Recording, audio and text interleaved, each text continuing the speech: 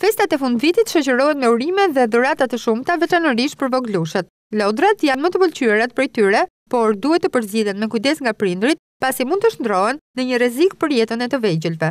Ersida Teliti, drejtore ekzekutive e Qendrës së Konsumatorit Shqiptar, Thotë për Adria Net se bazuar në studimin e kryer, lodrat ndihmojnë fëmijët të rriten apo dëmtojnë shëndetin e tyre, ka rezultuar se pjesa më e madhe e lodrave që ndodhen në tregun shqiptar nuk i plotësojnë standardet dhe kërkesat kryesore të sigurisë. Qendra e Konsumatorit Shqiptar në fakt ka bërë një studim që lidhet me lodrat dhe titullohet në fakt lodrat ndihmojnë më fëmijët të rriten apo dëmtojnë më shëndetin e tyre. Studimi, Ndihmojnë më lodrat të rriten, apo dëmtojnë më shëndetin e tyre, në fakt i dedikohet dhe i drejtohet drejtpërdrejt prindërve apo të rriturve të cilat blejnë lodra për fëmijët. Studimi nxori në pah që pjesa më e madhe e lodrave që ndodhen në tregun shqiptar nuk plotësojnë standardet dhe kërkesat kryesore të sigurisë, duke filluar, së pari, mungesa e markimit CE dhe deklarata e konformitetit. Që në momentin që lodrat futen në tregun shqiptar, autoriteti përgjegjës janë doganat, të cilat nëse lodrat nuk plotësojnë, pra nuk kanë markimin CE, sipas standardeve të Bashkimit Europian dhe deklaratën e konformitetit, nuk duhet të futen fare në tregun shqiptar dhe duhet të rikthehen menjëherë në vendin e origjinës. Gjithashtu, përpos kësaj, studimi vazhdoi më tej duke bërë dhe analizat për lloje të ndryshme lodrash, ku vu re që në të gjitha rastet, Këto lodra, të cilat u analizuan në një laborator të akredituar, jo në Shqipëri por në Itali, tregoi që pikërisht elementët kimikë, pra kimikatet e rrezikshme, ndodheshin në standarde minimalisht mbi dhjetëfishin e atyre që kërkohet nga legjislacioni shqiptar dhe njëkohësisht rregulloret e Bashkimit Europian për lodrat.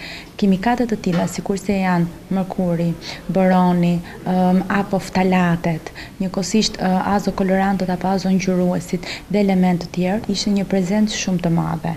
Çfarë, pse ishte kaq e rëndësishme? Dëmtojnë shumë rëndë shëndetin e fëmijëve në, së pari, sistemin riprodhues, gjë që do të thotë që kur të rriten këta persona, ne nuk do të jemi të ndërgjegjshëm se cili do të jetë shkaku i mungesës së riprodhimit. Shkaktojnë kancera të ndryshëm, që nga kancerat e lëkurës, kancera të fytit, por gjithashtu edhe të organeve të brendshme, shkaktojnë alergji të ndryshme dhe njëkohësisht dëmtime të kockave. Sërish për këto shpeshherë prindërit nuk janë të ndërgjegjshëm se për shembull nga çfarë shkaktohet alergjitë. Drejtuesja e Qendrës së Konsumatorit Shqiptar liston disa këshilla për prindërit në përzgjedhjen e lodrave për fëmijët e tyre.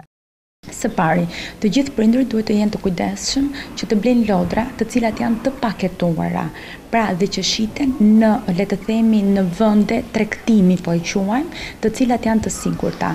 Të mundet të evitojnë blerjet nëpër tregje të hapura ku konstatohet mungesa e ambalazhimit apo ku konstatohet që lodrave u ka ikur ngjyra, se kjo tregon një problem në atë lodër. Së dyti, të mundet të kontrollojnë që lodrat të kenë pikërisht këtë markimin CE dhe gjithashtu të jenë të kujdesshëm që lodrat duhet t'i përshtaten moshës fizike të fëmijës.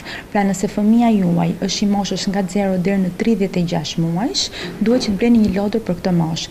Pavarësisht tendencës që ne kemi që t'i blejmë një lodër për një moshë më të madhe, duhet të jenë shumë të kujdesshëm që fëmijët e kësaj moshe të mbikëqyren gjithmonë nga të rriturit në blerjen e lodrave dhe një këshillë tjetër është për lodrat e pelushit Të kenë kujdes sepse mund të kenë risk heqja e syrit apo e butonave të ndryshëm dhe mund të shkaktojë gëlltitje.